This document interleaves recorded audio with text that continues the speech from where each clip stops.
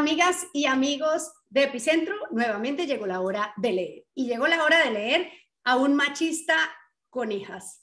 Eh, ya saben quién es. Es el queridísimo Gustavo Rodríguez, que presentó su libro Machista con hijas, que es, son las historias cortas del podcast que fue muy exitoso y ahora nos trae esta tremenda novela, 30 kilómetros a la medianoche. Gustavo, hola, gracias por estar en Hora de Leer. Claro, Elvira, encantado y muchísimas gracias por haber leído mi novela. Bueno, está muy buena, pero es un poco maldadosa ponernos a recorrer 30 kilómetros así de metro a metro para saber qué pasó. ¿Cómo se te ocurrió la idea de hacer toda una historia de vida alrededor de un recorrido de 30 kilómetros?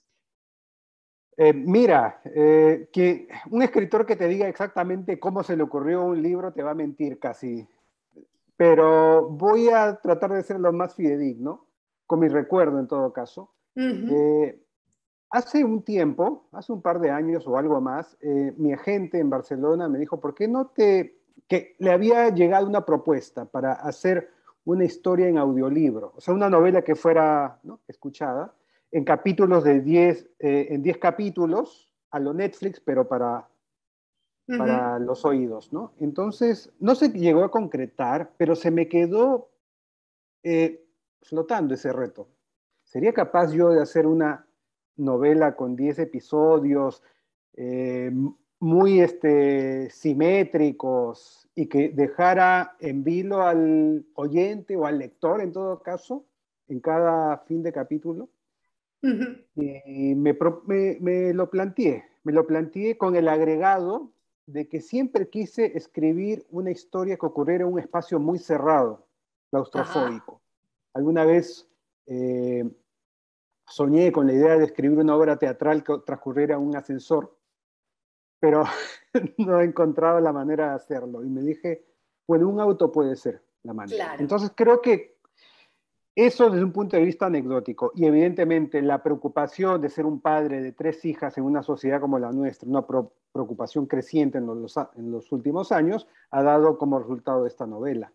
Ya, entonces empecemos por el principio. Y el principio es contar de qué va la novela, porque claro, todos los seguidores de Hora de Leer, muchos de ellos pues son grandes lectores y a veces me ganan, ¿no? Leen más rápido que yo y me dicen, ¿por qué no ha comentado tal novela? ¿Por qué no comenta esta otra? Bueno, porque no tengo tanto tiempo para leer montones y montones, pero ahí doy la pelea. Y entonces, para quienes no lo han leído, pues arranco por decirles que esta es la historia de un hombre que está en una fiesta, un poco zampado, en Cieneguilla, y lo llaman y le dicen, tu hija de la mitad eh, tiene tres hijas, tu hija de la mitad algo le pasó, o sea, no sabemos qué es, pero está camino al hospital Casimiro Ulloa. La está llevando una amiga y él se vuelve loco, pero claro, como funcionan las cosas mal, cuando van a salir mal salen peor, pues no tiene celular porque su celular está sin batería, el cable del auto se dañó y se viene eh, con un chofer de reemplazo que le hace, le acompaña los 30 kilómetros desde Cieneguilla hasta el Casimiro Ulloa, ayudándole a, hacer un repaso de su vida. Y está bastante bien, entre otras, como le decía a, a Gustavo antes de empezar, porque nos hace llegar hasta la página 200, no sé cuánto, 80, para saber qué fue lo que le pasó a la chica. Eh, ¿Qué tanto es realidad esta historia, Gustavo? ¿Qué tanto te pasó? ¿Y qué, ¿Y qué tanto este hombre, el protagonista de esta historia que escribe libros, que tiene una novia que se llama Karen y que tiene tres hijas, es el autor?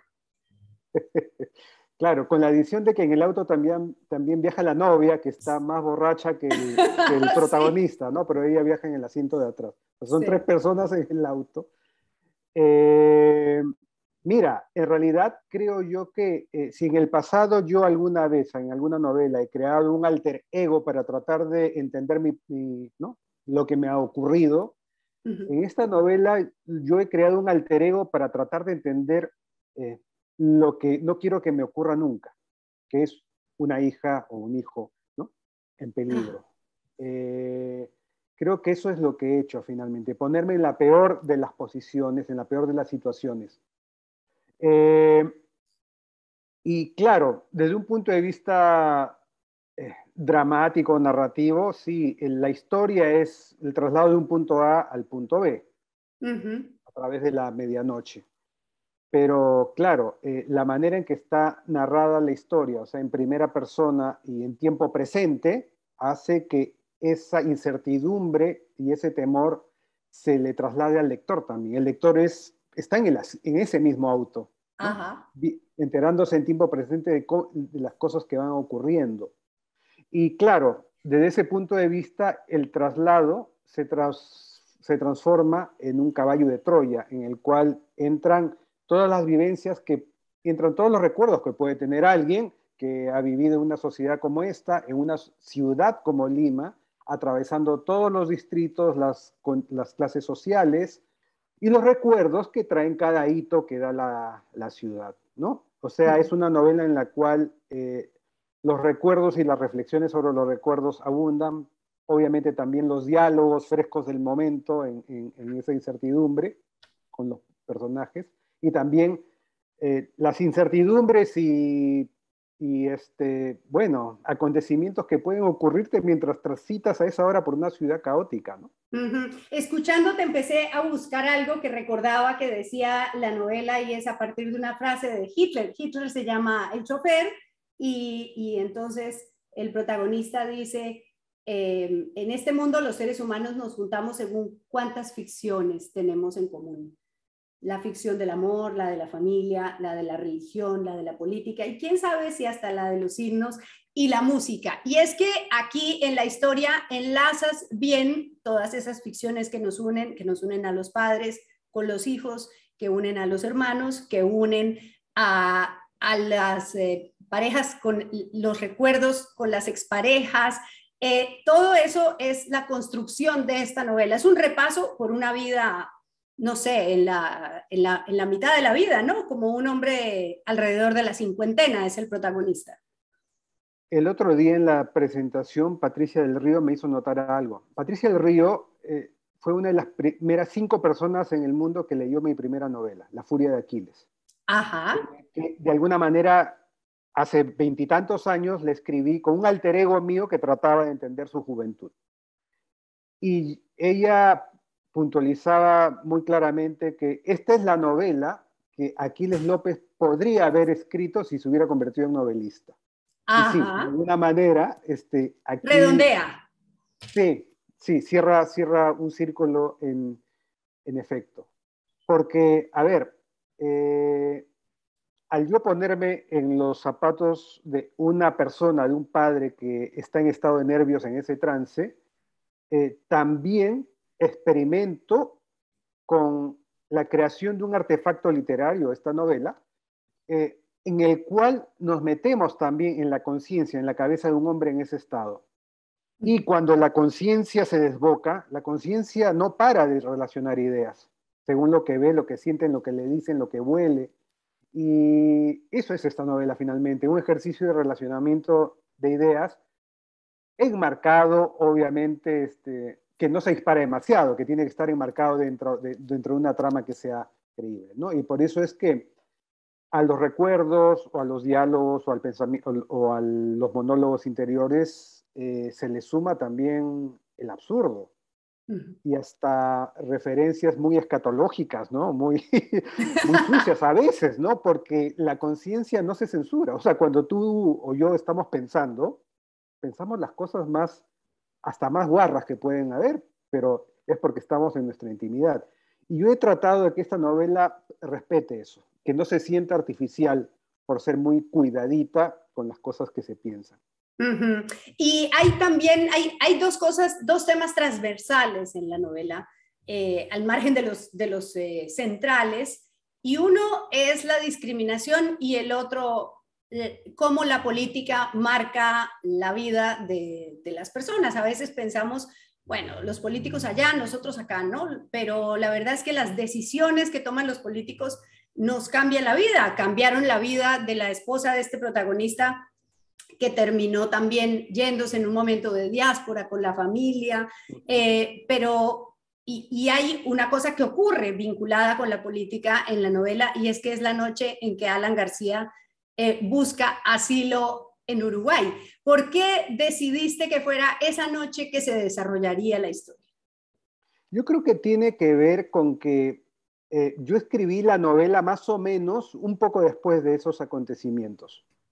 Y quería que fuera palpitante con respecto a lo que iba sintiendo en ese, en ese momento, ¿no? Y tienes razón cuando dices que la política aparece, pero no, pero no de manera evidente, ¿no? Lo que aparece son las consecuencias de tener la política que tenemos en América Latina. Y es verdad, muchos de los recuerdos y las acciones que se ven en la, en la, en la novela tienen que ver con decisiones pues, de nuestros mandatarios, nuestros legisladores.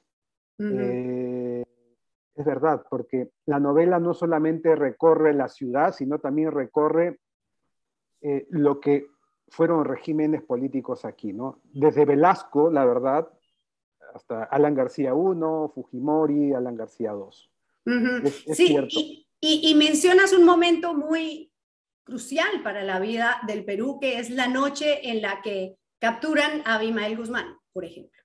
¿Cuánto marcó a una gran generación de peruanos ese momento que siempre recuerdan? ¿Dónde estabas cuando cayó Abimael? Esa es la, eso es lo, afortunado de haber escrito una, no sé, road novel, no sé, una novela de ruta que puedes pasar, si bien digamos, el trazado de recorrido entre Cieneguilla y el Hospital Casimiro Ulloa, digamos, te da una ruta eh, clara. Eh, pude encontrar en esa ruta muchos hitos que a los peruanos nos han marcado, ¿no? Entre ellos es evidente, o sea, el auto pasa a dos cuadras por la urbanización La Calera, en donde hace 20, ocho años, este, Abimael Guzmán. No, es, este año se cumplen 30, ¿no? 30, ya son 30 años, fíjate. 92. Este, entonces, es verdad. Entonces, eh, es, es, imposible, o sea, tuve la fortuna de encontrar varios hitos a lo largo del, del camino en los cuales se entrecruza la vida del narrador, la vida personal del narrador con la vida de toda una nación. Entonces, desde ese punto de vista ha sido muy interesante eso, darnos cuenta de hasta qué punto las ciudades que habitamos son mapas no solamente espaciales, sino temporales de nuestras vidas. Claro. Y hablemos del primer punto que te planteé en esta anterior pregunta, y es el asunto de la discriminación. De, y hay un episodio, eh, no, no se trata de hacer un gran spoiler, pero hay una persona que aparentemente, un chico que está, aparentemente tiene eh, un escarceo con una niña compañera del colegio y, alguien viene y lo felicita y luego le dice el otro, este es un falcioni, este es un, ¿cómo es que dicen? Un, eh, hipotenusa, ¿no? Como un hipócrita, es un hipócrita ah, porque ha dicho porque ha dicho que cómo es posible que este cholo se haya levantado a esta chica. Y pienso cuántas, finalmente en el Perú todo el mundo es cholo para alguien, ¿no? Es un poco más cholo que otro. Bueno, en el Perú y en otras sociedades no colonizadas por potencias eh, blancas, digamos, eh, siempre se está en una escalera, ¿no? En, en donde un grueso de la población trata de ubicarse y de medirse, ¿no? mutuamente. Y definitivamente el tema del racismo asociado al clasismo a mí me, me obsesiona literariamente. O sea, lo vengo trabajando en muchas de mis novelas como telón de fondo o como parte de los dilemas de los personajes o de la identidad de los personajes. Y esta novela no podía faltar porque eh, por un lado, se cruza toda una ciudad latinoamericana en la cual ves la desigualdad barrio a barrio, y por otro lado, digamos que el protagonista eh, se ve confrontado en esa noción con el chofer de reemplazo, que es un hombre mestizo, eh, sambo según la descripción, ¿no? Con el cual puede este, tener un ping-pong, una, digamos, un ejercicio de, eso, de, contraste en cuanto mm. a experiencias y en cuanto a diferencias y curiosamente a similitudes también. Y bueno, no, no hagamos muchos más spoilers, pero por ahí hay una, conductora de televisión, guapísima, que tuvo mejores momentos, pero que sigue estando buenísima y que tiene obsesionado un poco al protagonista. Existe, ¿no? Supongo que es quién es. Sí, existe. O sea, tú sabes que los escritores echamos mano muchas veces de, gente que existe y bueno, pues como decía Vargas Llosa, eh, hacemos una especie de striptease al revés, o sea, agarramos a la realidad desnuda y la cubrimos de ropajes y tratamos de despegarla ¿no? de la realidad. Muy bien, pues está muy bueno. Gustavo Rodríguez, 30 kilómetros a la medianoche. Sobra decir que el debate sobre la construcción de la masculinidad, sobre la relación con las hijas, pues está permanentemente y que se lee muy bien. Te felicito y te agradezco por estar aquí en Hora de Leer en Epicentro. Claro, Elvira, el agradecido soy yo. Muchísimas gracias. Y usted recuerde que no lo encuentra el diluvio, sino un libro debajo del brazo. Hasta pronto.